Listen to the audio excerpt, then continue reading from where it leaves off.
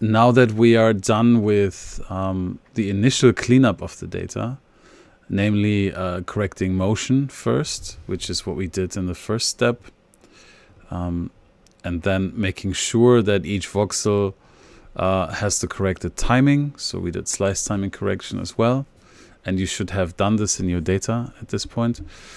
The next steps we want to do is to make sure that we can prepare the data for um, group level statistical analysis. So we have to um, align each individual brain to an a normalized uh, or, or, normalization template. So basically to get it into the same space across different brains. And we'll talk about this um, in a minute.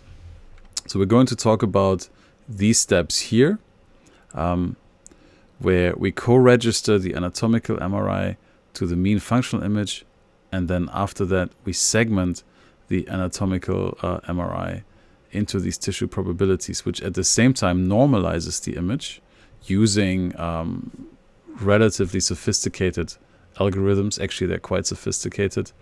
Um, and then this normalization that we get from this segmentation step can finally be applied to the um, functional images so that they're all in the same space and that any kind of statistics we perform on each individual can be um, also done for the entire group of participants that we recorded in our analysis. So let's talk about spatial pre-processing with the goal of cleaning up the data again, but preparing the data for group level analyses.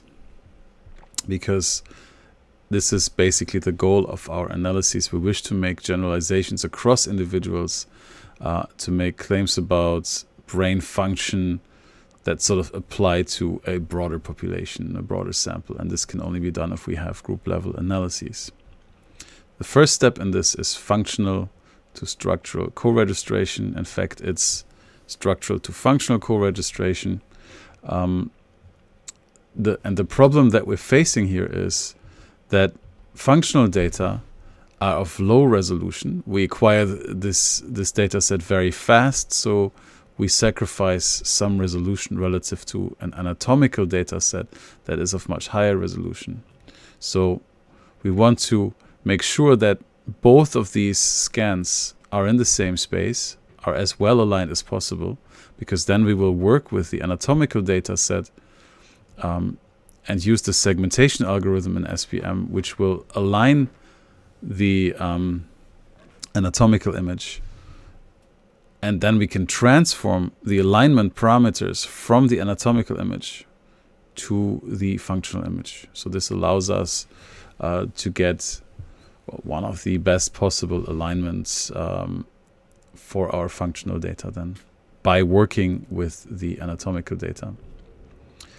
So basically we're doing this functional to structural co-registration because this improves normalization to standard space and with the larger goal of allowing us to to look at at group maps uh, later on at, at the, in the final stage where we look at second level models. So this is going to be our final goal here.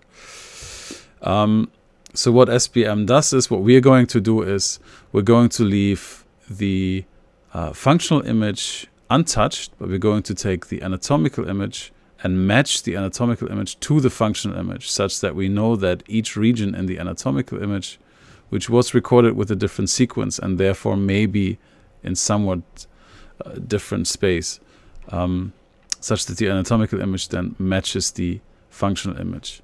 And what SPM does is it's basically using a mutual information algorithm that uh, minimizes some cost function such that when it's done, you can predict one image from the other image. Um, so this is the first step that you'll do. And then the second step will involve spatial normalization of the anatomical image. And the reason for this, why do we why do we need to do spatial normalization? Why not just use each individual's brain and then just look at uh, activations in specific brain regions? Well, it, it allows us to do whole brain analyses rather than just simple uh, region of interest analyses, which um, has some advantages. And so we do spatial normalization to get one statistical map from all of our subjects, so a second level model within SPM. Uh, the reason why spatial normalization is so important is obviously because brains differ. You have these stark differences between, for instance, this brain, which is large, and this brain, which is relatively small, or this brain, which may be even smaller. We have specific anatomical, so these are gross anatomical difference, but we have relatively specific anatomical differences as well, such as large ventricles here versus very small ventricles, such as in these brains here then you can see that the cerebellum can look very different um, and also cortex with uh, these grooves and ridges. So the gyri and, and sulci on, on, the cortex look very different across different brains. There's a large uh, gap here for instance that doesn't exist in any of the other brains. So brains brain anatomy looks very different across brains um, so coming back to gross anatomy, so the volume can vary from 1100 to 1500 cubic centimeters. So there are differences of almost 30% possible within your sample. Um, and then you have so many, well, differences in, in, in, brain shapes and sizes that can be longer, thinner, shorter, or wider. Um, specific regions may differ considerably.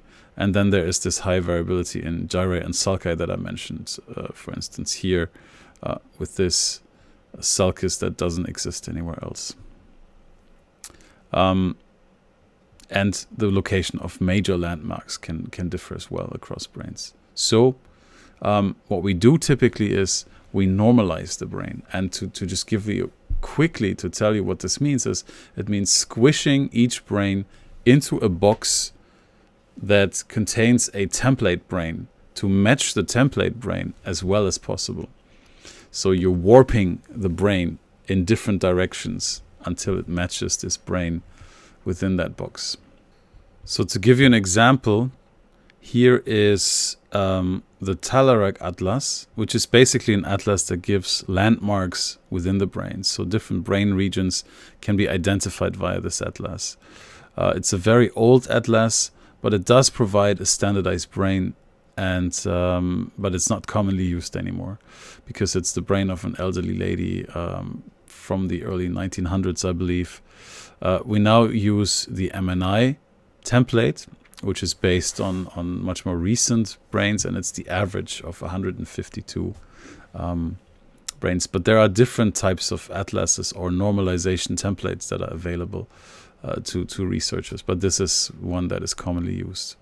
Uh, so this will be your standard brain, and then you align each anatomical image to this brain um, using this normalization algorithm. We'll go a little bit beyond that because we will use the segment function in SPM, which uh, does a little bit more than just normalizing. But we'll talk about this in a second. Um, so you can have a look at at uh, this reading here if you want to know more about this. Now, what does this give us? Um, so when we once we normalize the brain, we can actually talk about regions or activations, let's say, within the brain in terms of their relative location to to an origin point.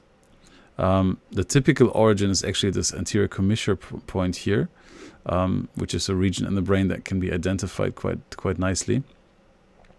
But depending on which type of normalization template or atlas you use, um, the origin might change a little bit. So, for instance, in the Talairach uh, atlas, it's a little bit different.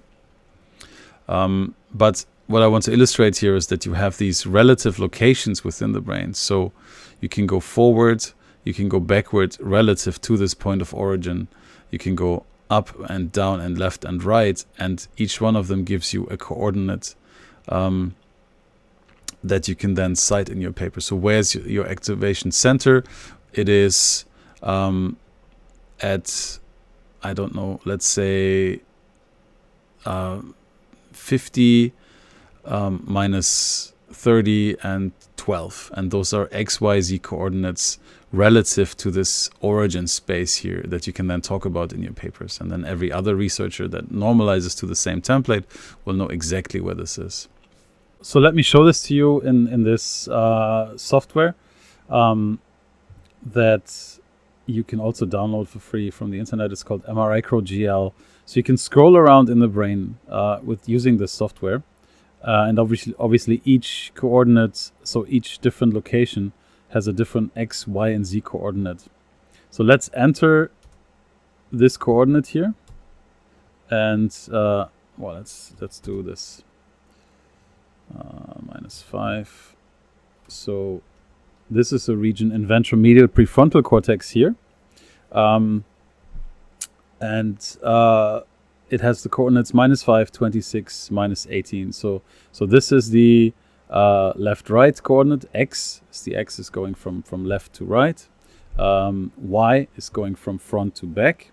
And Z is going from top to bottom. Again, with the um, the location, so the, the negative number here means it's below the the origin of the MNI space. When it goes above, then uh, it's it's a positive number, right? So we, we this, these are numbers that are relative to the origin in these three axes that, that we talked about and that, that you have seen in other videos before.